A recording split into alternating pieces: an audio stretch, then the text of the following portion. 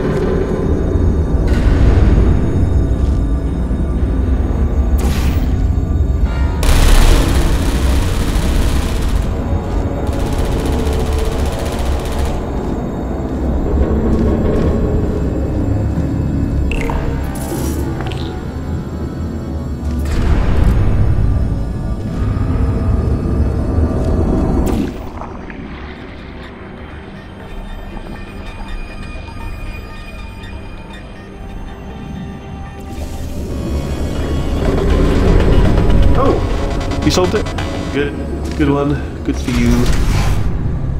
So, he's inexplicably happy all of a sudden, even though he should be going out of his mind with test withdrawal. And he's got a surprise for us.